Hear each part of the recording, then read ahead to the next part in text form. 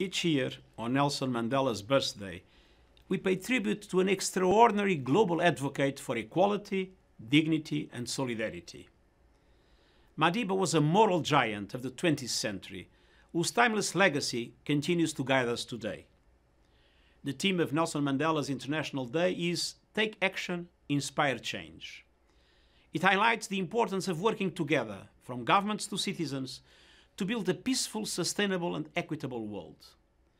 We mark this day at a time when the threat of the COVID 19 pandemic endangers everyone, everywhere, and especially the most vulnerable.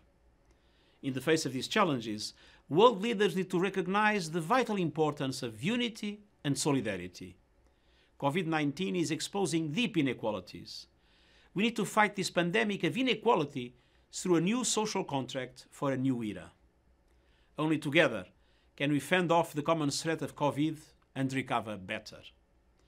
As the United Nations marks its 75th anniversary in this fragile time, we reflect on the life and work of Nelson Mandela, who embodied the highest values of the United Nations and took action and inspired change. Despite many years as a prisoner of conscience, Madiba retained his dignity and commitment to his ideals. Let his example propel any government that keeps such prisoners to release them. There should be no prisoners of conscience in the 21st century. Nelson Mandela reminds us that as long as poverty, injustice, and gross inequality persist in our world, none of us can truly rest.